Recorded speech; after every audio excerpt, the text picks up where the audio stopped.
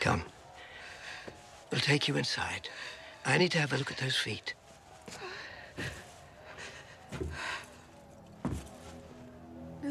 May I have the honor of presenting the newest member of the Kingsguard?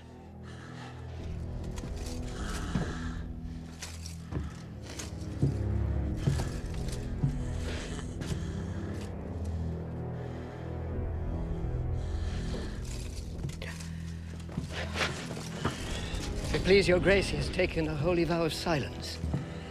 He has sworn that he will not speak until all his grace's enemies are dead and the evil has been driven from the realm.